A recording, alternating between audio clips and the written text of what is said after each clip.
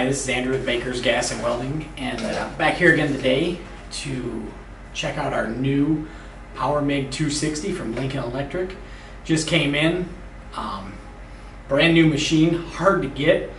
We ordered one when they threw out the promo saying they were going to come out with these. We ordered it, came in, perfect. The reps can't even get their hands on these, so they're they're a hot item right now. But I unboxed it. It comes in a uh, larger box bolted to a pallet pretty well packaged. It's a very heavy unit, so you have to be careful unloading and loading it. Um, well, let's power. I powered it on here. Let's turn it on and check it out. The new screen. So you can see on this machine, it looks very similar to the 210 MP. Um, same screen technology. It's a 7-inch LCD screen, full color. It's pretty cool. We'll fire it up. You can see they added their logo there. Very cool.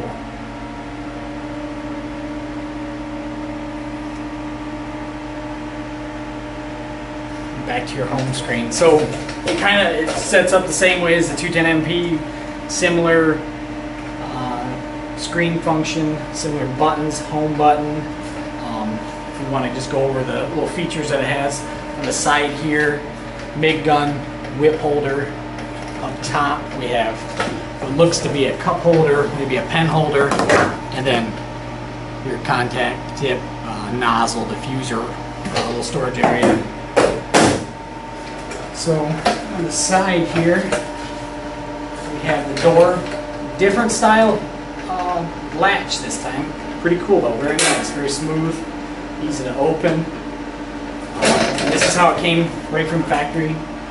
Uh, MIG gun comes inside wrapped up. It's a new Magnum uh, with the new Lincoln consumables, as you can see, with their quick twist tips. All taped up. I can take that apart here in a minute. User manual, um, drive roll system, and on the top here you can see it has the 260 Power MIG logo with all your settings or potential settings, what you want to run if you're not running a synergic method. So very cool, very nice, well packaged. It's looks similar to a 350 MP, but it's um, narrower and shorter. Um, I wouldn't say it's lighter than a 350 MP, but it, it's definitely a smaller package. So let's shut this back down. Another feature on the back here, which is pretty cool, comes with your ground, which is your standard ground. Comes on all your Lincoln equipment.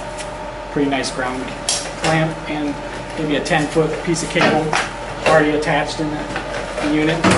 So on the back you have your power link. So input supply connection. If you look at the diagram, we're matched up. We're at 230. That's what we're plugged into. But you can, it gives you the diagram on how to change your copper pieces to match what power input you're going to put to this. Um, so that's pretty nice. It's all clear cut. Here's your code number, serial number, part number, um, and the order number was processed on. So if you have to do any warranty claims or parts for the unit, you can reference it. This this uh, machine has a special feature that I haven't seen before. Is this new style cylinder cart. So it tilts down, so you can roll your cylinder across this lip. When it hits here, locks it in place. So it's, it's actually really pretty smooth. It's pretty cool. Easier to use instead of manhandling that cylinder. You can just now tilt that table. So that's pretty neat. You can hear the fan running. So let's spin it back around here. Let's see what kind of features are on the front. So on the bottom side, you got 115 volt, 15 amp plug, two of them, pretty typical for your power MIGs. Um, your Amphenol connection for your spool gun or your push pull gun, and then your trigger wire hookup. Uh, pretty standard stuff. Gas connection in the front, and your on-off switch right here. Ground cable goes in the front. Pretty standard stuff for Lincoln Electric. Uh, very cool unit though. I, I really like the screen. It's uh, very easy to read, easy to see. Same warranty as usual. Three-year warranty uh, and a five-year optional warranty that you can purchase. let's uh, take a look through all the screen settings and run through those. All right, so now we've uh, got the machine on. We saw it fire up. Gives you comes to this uh, home screen. But you can always hit the home button. It'll take you right back home. So if you get off somewhere and you you get into that screen, you can hit select process home button. It'll come back to this. You can pick your process. So what we got here is we got manual, which is your uh, you can choose the settings. They're non-synergic. You got MIG,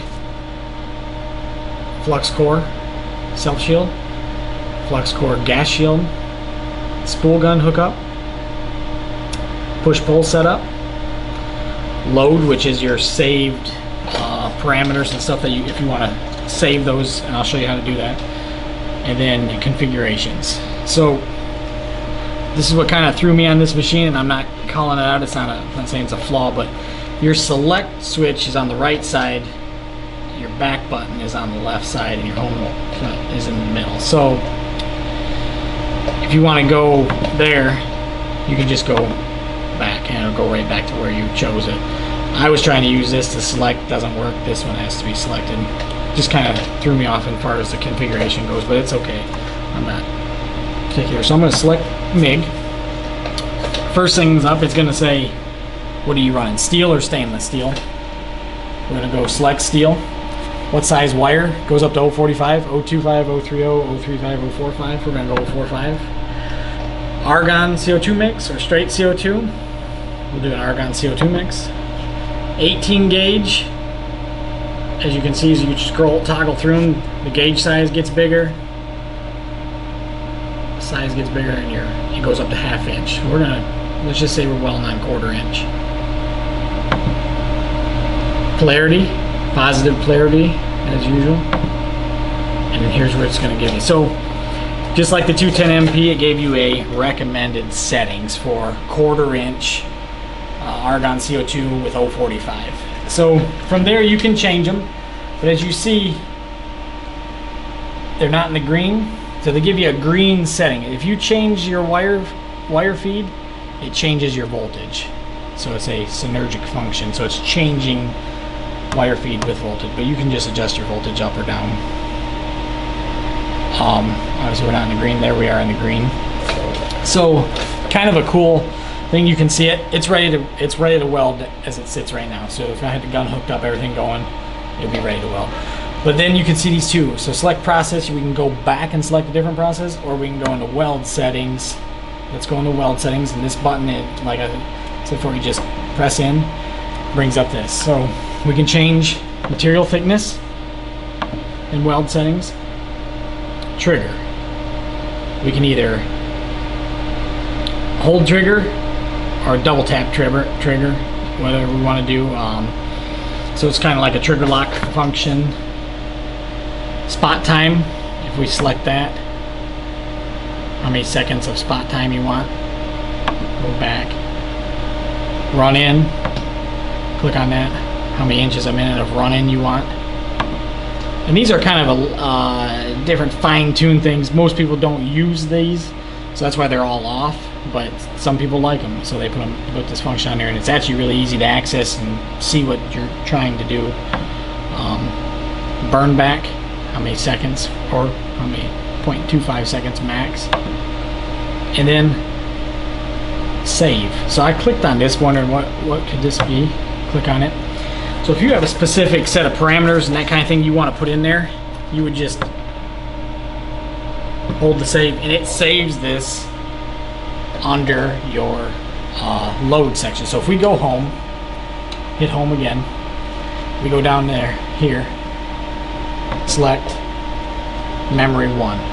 It was just the one that we just saved. So load and it brings it right back up. So if we love a setting and we, we just want to go back and you have multiple users on this machine and you like a setting, you can go right into weld settings, go right to save, hit it. It says hold to save, hold it to save, it picks, boom, you're good to go. So it saved your setting. So you're under memory one, and then say welder number two on afternoon shift comes in, he's on memory two, so he goes to two. So if you guys are welding on different parameters, you particularly like one neat function of this machine, really cool. Um, like I said before, go through all your flux core, flux core gas, spool gun, push pull gun. Let's just select push pull. So interesting, they give you a Magnum Pro aluminum, Magnum Pro pistol, and a Magnum Pro Cougar, or custom gun. Gonna go Magnum Pro AL. So it's allowing you to hook up multiple push pull systems that they make. 4000 series aluminum or 5000 series aluminum. Let's go for 4000. 035 or 364, so we'll go 364s. And then how thick of aluminum? 10 gauge all the way up to 3 8 let's pick on 3 8 Positive polarity. Calibrate. We'll just do auto calibrate. Hope. Triggers hooked up. So there you go. So it's gonna it's gonna sync the drive rolls in here with the drive rolls in the gun, if that makes sense. That's what they're trying to say is the uh, calibration period. We'll go back since I don't have hooked up. All right, folks, thanks for watching my video, and this is one of two videos, so the next video we're gonna set it up to weld with it. Um, let me know what you guys want me to run on it. I can probably get spool gun, push pull gun, if you guys wanna see that, or just the regular MIG gun it came with. Let me know. Uh, put some comments below, and there's a uh, promo code that I want to throw out there for this. If you buy it off bakersgas.com, it's Lincoln65. So you're going to get uh, free red, white, and blue beanie, uh, roll cage gloves, and $65 off this unit. Um, thanks again for watching. Stay tuned.